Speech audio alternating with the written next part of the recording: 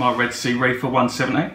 It's been up and running for about a year and a bit now and as you can see it's a mixed reef so we've got the zoas, leathers, star polyps there, also some mushrooms. Got some LPS with the torch, hammer coral, got branching coral. Um, also got some SPS at the top there. So is a mixed reef but everything seems to get on pretty well. So I do use carbon and phosphate remover. So to be fair, I've not had any real issues with it being a mixed reef. I know some people say it's more egg when you're doing it mixed, but you know, I can't keep to one style of coral. I'm lethal like that, so I do like to mix it up a bit. But everything seems to be getting on quite well. I do use the Radion, I think it's the XR15 Pro, and when I first got it, I didn't know whether it was going to be, you know, have a wide enough spread, but actually it's perfect for this size tank. I think it might be a, a 24 inch tank, not 100% sure, but it lights it fine, no issues whatsoever. I was using the Maxspect Razor before, which again was a decent light, but I want I did like the controllability that this come with. So, you know, if you run it off of the Reef Link with the app, when the app decides it wants to work, anyone that's used the app will know what I'm talking about. Um, but when it is up and running, it is working, it is really good. Also running a couple of VorTech pumps. So the black one's wireless one, that's a new one I fit in today. I will be updating the old one and the usual Tunze auto top off. As I said, it's got a new pump on it, so some of the corals are skulking. They're not too happy that I've been pissing around with it, to be fair. So with the flow, etc. In the sump, we've got a Deltec skimmer.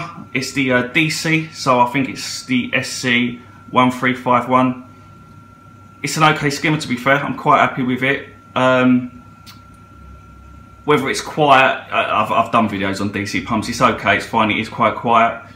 I've got the Vertex media reactor, it's empty at the moment, it is still online, but it, it's too much faffing around with it. I was running my um, phosphate remover and carbon in there, but it's a lot of fraffing about when you want to change it out. So I've gone to this little Aquamedic media reactor there. So that runs my phosphate remover and in the back I just have a bag of carbon to be fair and I change it out quite regularly, not a problem.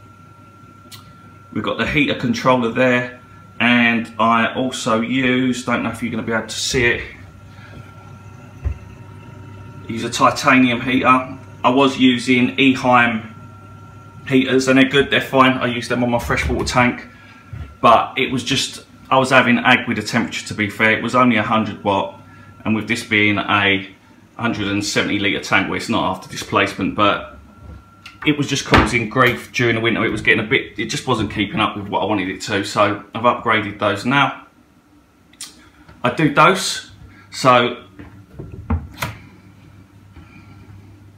my sort of dosing station. So I use the Kamoer dosing pump, really easy to use, really like it, really, really good bit of kit, great instructions and that's my dosing containers there.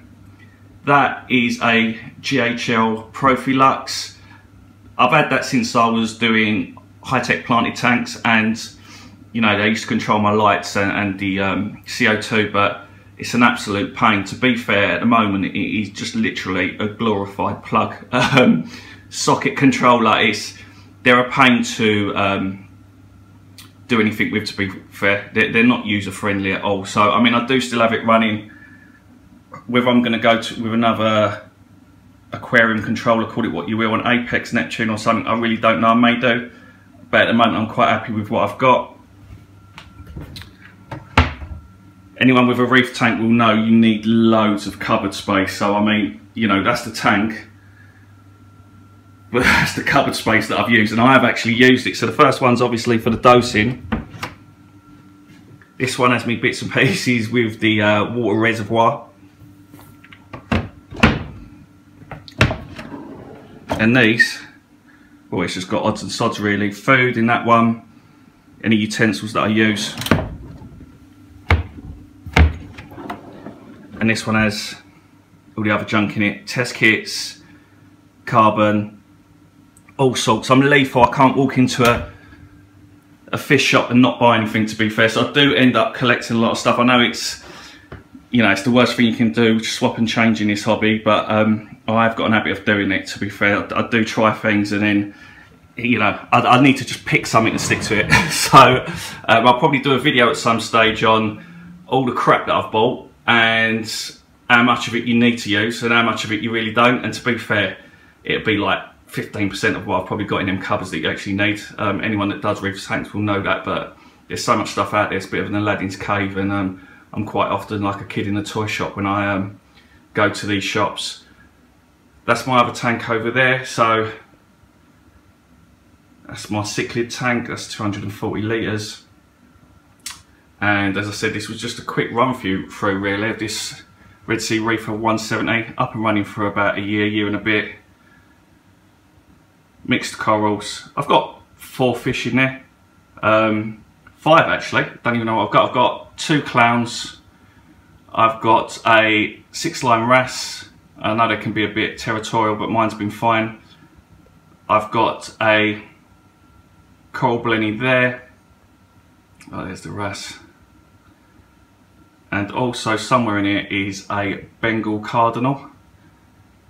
Got two shrimps, I've got skunk, cleaner shrimp, and I've also got, hey, let's see if we can find him. Yeah, red shrimp, I forgot what they're called, you know. But yeah, so that they hang out, they get on all right together. No issues. Few snails, I did have some hermit crabs, but they sort of died off to be fair. Um, I don't know how long they live, but I've definitely got none in there now. I've got this fella which I absolutely love, he's amazing. That is a conch snail and all day he will just work. He just, just, just up and down um, with the sand to be fair and really, really, really good. I really like him. He's one of the best things I've got in there to be fair in regards to what he actually does for you. Um, but yeah, so, you know, mixed reef, couple of skulking corals. This torch has bleached out slightly. When I bought it, it was a really, you know, fluorescent green, amazing. Got it home, half of it really bleached, and the other half kind of semi-bleached, and it's never really, you know, come back to its colour. I moved, I did have it up near the top, near this piece here, which again, looks like it is bleaching, so I'm probably gonna have to move that as well. Things seem to struggle in that place. Um, but yeah, so, you know, it has bleached, but it seems to be doing okay. It's not died off, so to speak, so we'll have to see how it goes. Maybe in a couple of months it will sort itself out. Loads of different types of zoas. I do like zoas. Another plate plating coral, star polyp, um, little mushroom. It's quite difficult because I, I, know, you know, with the antics of the, the lights, it's quite difficult to see. Guy at the back there definitely ain't happy, so he, he might need moving as well. But yeah, you know, I'm growing all sorts of coral in here, and I'm quite happy with it. It is quite easy. I've quite a strict regime. So I do a well, I do a 15% water change every week, so that's two 10 litre buckets. I actually use Aquaforest salt. Really good. You can um, mix it up and use it in about 45 minutes. You don't have to leave it overnight. You're not supposed to leave it overnight. It's actually um, the biotic one that I use. It's quite cheap and it mixes really, really well. I mean, literally really well. I used to use Red Sea and it was just a pain. I really didn't get on with it very well at all. But this stuff is really good, it's amazing. If, if anyone's thinking about changing their salt, trying something different, if you can get hold of it, um, I think they're a Polish company, it's called Aquaforest. Try it, their salt, really good. I've used a few of their products to be fair, and I'm, I'm quite happy with them. Um, with me dosing, I actually use Fauna Marin salts. Again, you know, they're quite good, but my, let my everything seems fine, so, you know, I have no issues with that. Um, outside of that, that's about it really. It's just a quick update. Um, I've done videos on products in the past, but this is the first time I've actually shown the tank which some of these products are used on. If anyone's got any questions, you know, just leave a, leave a comment, like, subscribe, whatever you will, and um, I'll get back to you.